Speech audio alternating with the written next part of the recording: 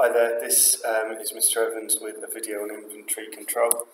Um, so this is just introducing this section here, uh, looking at inventory. So um, the term in, terms inventory and stock tend to be used interchangeably, they mean the same thing. Um, inventory control is the management of an organisation's levels of level of stocks to enable it to match supply to demand. And the stock that a business has would include three things. So the raw materials that have just arrived from the supplier, uh, they haven't done anything with them yet, um, but uh, they're ready to be transformed. Um, there is work in progress, which is uh, the raw materials that have now uh, began the uh, transformation process but aren't finished yet, they're not ready for sale.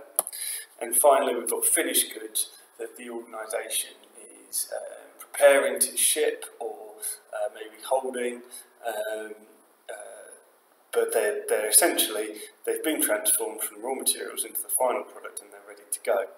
Um, and inventory control is the decision that a business will make whether to hold relatively high levels of stock, um, perhaps because uh, they're anticipating changes in demand, or relatively low levels of stock because the business doesn't want to um, have a whole lot of cash tied up in managing its stock levels. Um, we'll look at that in a bit more detail in just a minute. But um, just so an example from a bakery, we've got our raw materials here. Um, obviously, an industrial baker would have far greater quantities of those raw materials. Um, but uh, once the transformation process starts, um, this is the work in progress where the uh, raw materials are being transformed into a final good. And um, there's our finished products that are ready to be sold. Um, so this, these are all considered as stock.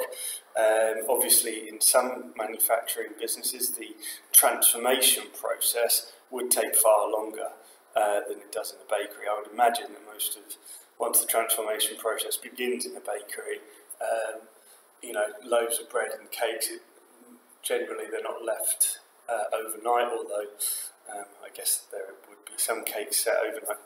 Um, but generally, uh, a car manufacturer or something would have a far longer uh, period between the business becoming the uh, materials moving from raw materials to final goods.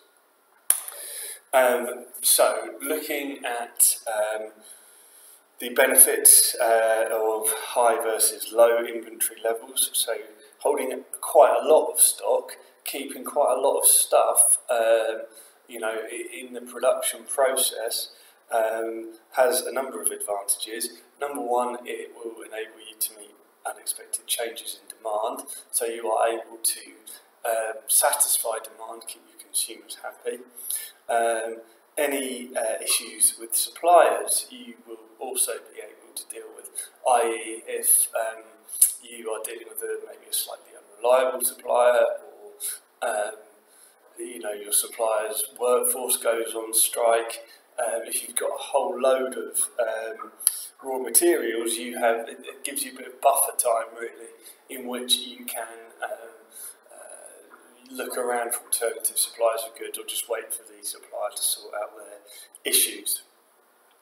Finally, uh, holding high levels of inventory will allow you to buy in bulk off your suppliers and therefore manage, uh, negotiate uh, discounts with them, um, known as economies of scale, where you, you purchase a larger amount of stock for a smaller uh, unit price. However, uh, a business may choose to hold lower levels of inventory.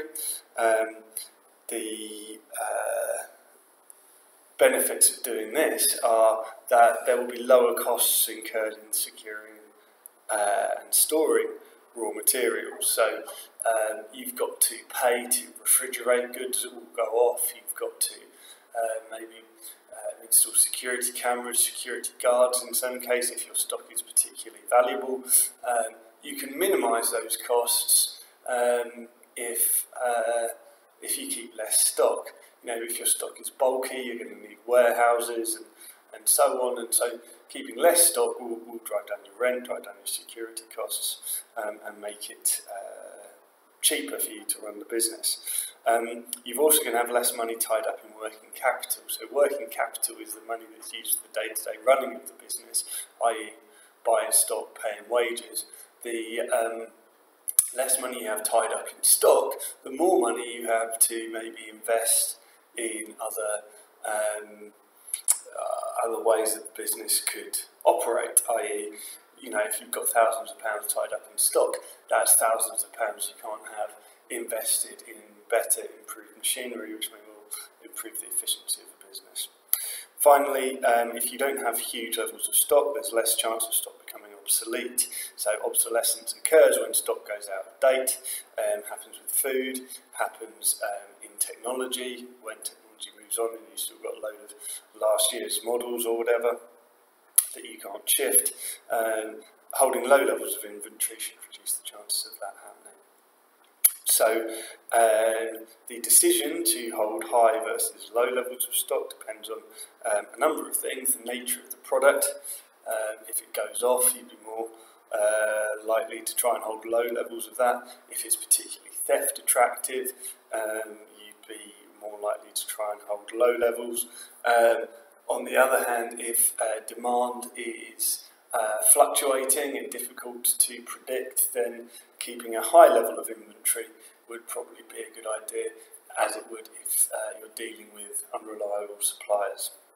So that's a brief overview of inventory